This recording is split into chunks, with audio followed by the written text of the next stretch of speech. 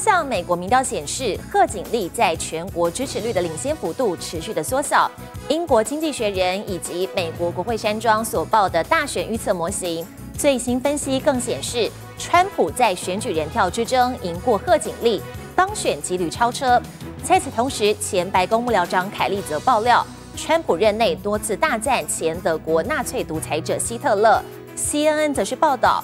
目前全美已经有超过一千四百万人完成了提早投票，其中虽然民主党仍占多数，但共和党早投族的比率也比过去明显增加。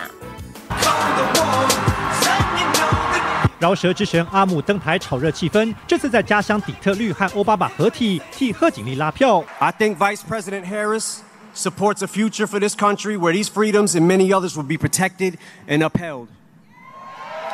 不断打出超强助选员，但贺锦丽在多项民调中的支持度出现下滑迹象。美国经济学人最新预测模型中，川普一百次模拟五十四次胜出，贺锦丽四十六次。川普当选几率不止在过去一周明显增加，还是八月以来首次领先。国会山庄报的模型也显示，川普当选几率百分之五十二，大胜贺锦丽的百分之四十二。但专家也提醒，七大摇摆州民调都在误差范围内，选情仍然充满变数。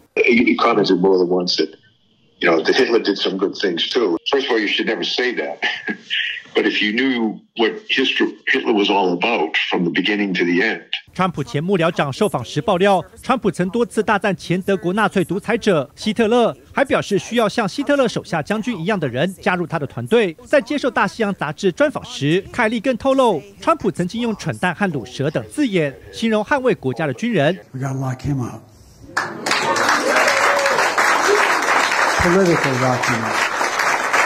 交棒给贺锦丽的拜登竭尽所能拉票。二十二号在新罕布夏州要选民用选票拒绝川普。CNN 报道，超过一千五百万选民已经完成提早投票，其中百分之四十七为民主党选民，百分之三十三为共和党选民。其中共和党早投族比过去明显增加，共和党支持者展现更高的投票热度，恐怕让贺锦丽阵营倍感压力。张立子评议。